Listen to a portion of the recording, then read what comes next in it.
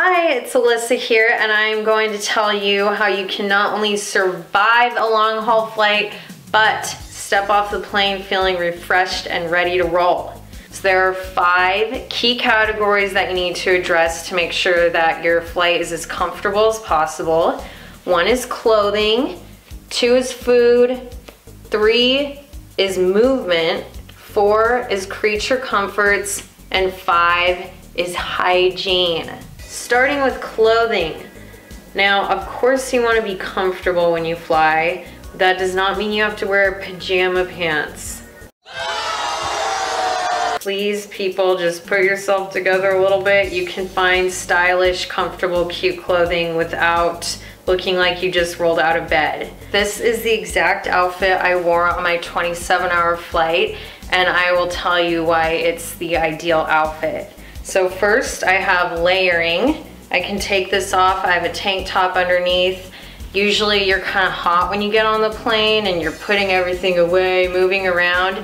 And as soon as the flight starts going, they blast that air and it gets really cold. So it's good to have a piece that you can easily take on and off. You can roll up the sleeves or pull them down. Number two are these pants. They're stretchy, they're comfortable. I'll show you the waistband. I have room to move. And when you wear tight pants, they can dig into your waistline and that can cause bloat. And most people already get bloated just from flying. And so you don't want your pants digging into you, increasing that bloat and discomfort. A nice wool sock. Love, love, love my REI wool socks. They keep my feet warm. When your feet are cold, then the rest of your body tends to get cold really fast. So those are just easy to throw in your bag and then slip on at the beginning of the flight. For footwear, you want a nice slide on and off pair. I wore these ones. Um, that way, when you're going through security and when you get on the plane, you can slip them on and off really easily. Lastly, a good scarf is an essential. I love this one. I got it at Nordstrom Rack. It's thin, it's lightweight, it's cute. It can keep my neck warm. I can spread it out like a blanket around me. And then my favorite thing to do with it is I don't like to put my head on the headrest because it's kind of dirty, if you know what I mean. Everybody else's heads are rolling around there. So I just slip this on and then I can sleep peacefully knowing that my head isn't touching where thousands of other people's heads have been laying. If you're sitting next to the bathroom or somebody smelly, you can wrap it around your nose like the ugh, like that, which I've done many times. Number two, food. You need to consider this at least a day before no spicy food for indigestion, no beans, no broccoli or cabbage that'll cause you to be bloated, and don't go too crazy with heavy carbs. The airplane food is pretty much all carbs and so you don't want to already get on the plane feeling heavy and then feeling even more heavy from sitting there and eating all that carb heavy plane food. Even though I just am sitting on the plane, I, for some reason, I'm always ravenous. So it's always a good idea to keep snacks that you can eat for in between meals. I like to keep a salty snack with me, usually mixed nuts. They're healthy, they're filling, they're good. And then I always have to have a sweet treat, my little cookie bag. The last thing for food, it's not really food, but water, you need to be hydrated, hydrated, hydrated. I found this to be the biggest difference in the way I feel when I land is when I get enough to drink. So I usually start with two liters before the flight and then one to two liters on the flight. The best way to get all that water in is to either bring your own big water bottle or get the biggest size one at one of those stores once you've gone through security. And then you can just ask a flight attendant to fill the bottle for you. And that way you don't have to wait for the drink cart to go by every time you want a drink. I don't even want to tell you the technique I used to use to avoid plane bathrooms because I thought they were disgusting and kind of scary. I didn't use one until I was 28. Don't tell no one. Don't worry, it didn't involve an adult diaper, but but it was not healthy for me or my kidneys. Number three, movement. This is something you will want to do before your flight and during your flight. You're going to be sitting for a long time, so it's really important that you get your body moving and stretching before your flight. Uh, if you have time before the flight, like the day of, do I like yoga because it helps loosen me up and strengthen me, but any kind of movement will do. Um, I've done a HIIT workout before flights if your flight is really early in the morning, then exercise the night before. And then when you're on your flight, there's usually in the back of the plane, there's like an open area where you can stand. Um, I like to do forward folds, like ragdoll, that'll help loosen my back.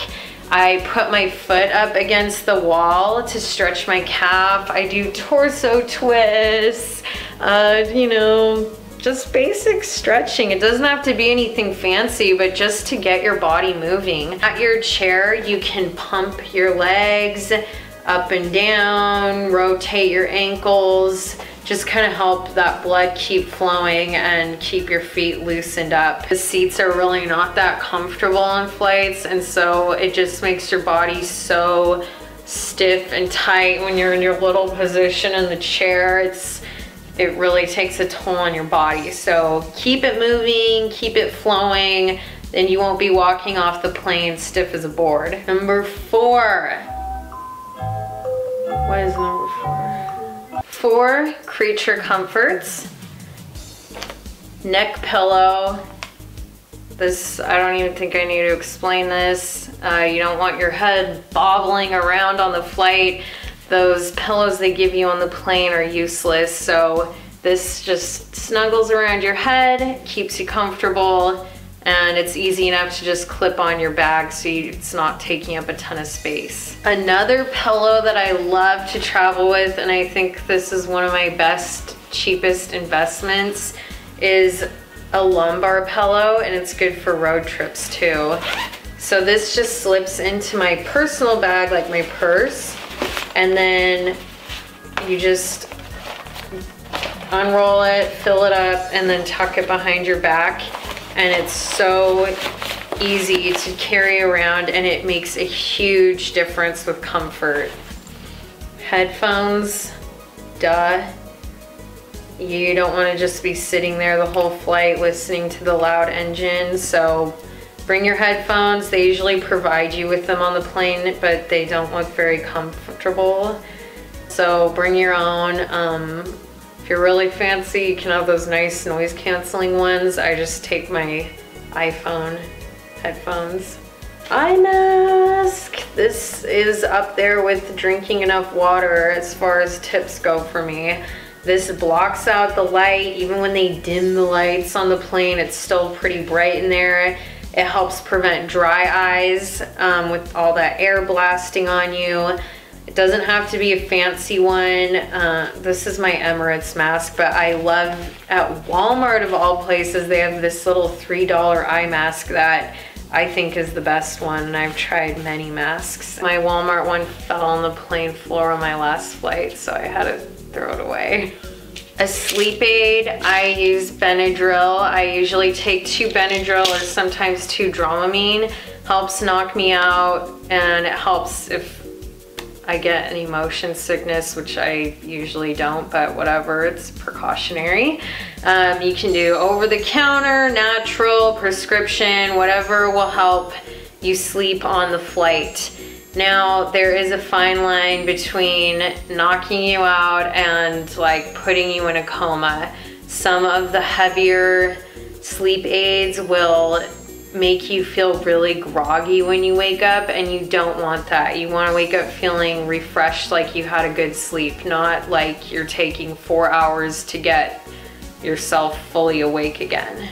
Number five is hygiene. Now this one is super important because you're in close quarters with people. They're recirculating the air. It's really dry air.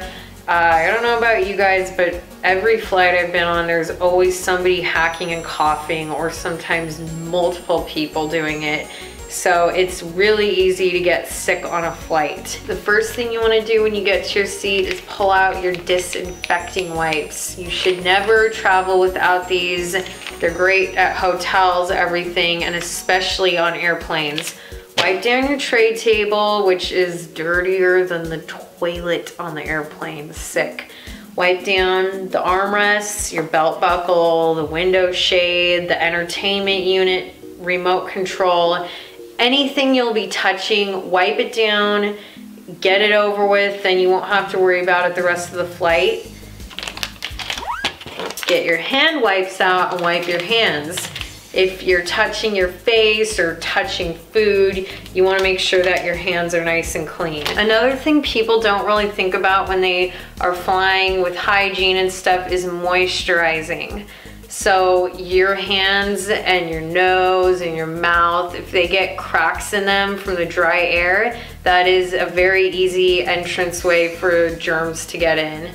So chapstick, eye drops, and then this we learned from a pharmacist. He said to take the Neosporin and rub it on the inside of your nose and that way it'll keep it moist and help prevent things from getting in. Yuck. And then the last thing for hygiene is during your layover or if you don't have a layover during the flight, go to the bathroom, floss your teeth, brush your teeth, wash your face, change your underwear. It sounds kind of silly, like, oh, why bother? Like, I'm just gonna be getting dirty again on the flight, but trust me, it makes you feel like a whole new person to be fresh and clean again. Those are the five categories you need to consider. I know they will make a big difference for you because they have for me. And if you like this video, hit that like button and be sure to subscribe to see more fun and useful videos. Bye.